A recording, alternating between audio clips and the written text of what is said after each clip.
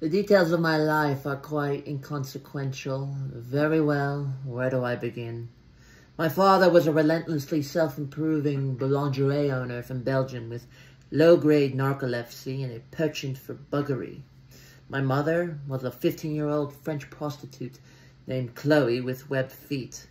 My father would womanize, he would drink, he would make outrageous claims like he invented the question mark. Sometimes he would accuse chestnuts of being lazy, the sort of general malaise that only the genius possesses and the insane lament.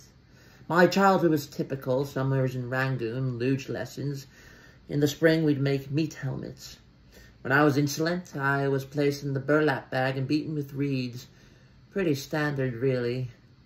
At the age of 12, I received my first scribe. At the age of 14, a Zoroastrian named Vilma ritualistically shaved my testicles.